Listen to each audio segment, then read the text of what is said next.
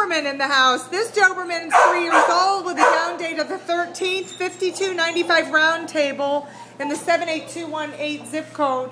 This is like a blue, bluish colored Dobie. Oh, he looks a little scared. Hi, Doberman. Now, I had a Doberman in college, and I just love this breed. They're loyal, they're smart, they're good family dogs, and they're good watchdogs. Now, he looks like one of his ears stands up and the other does not. His little tail is docked from what I can tell. He seems very depressed, though. Are you a good boy? You don't like it here. I don't blame you. These dogs just came in.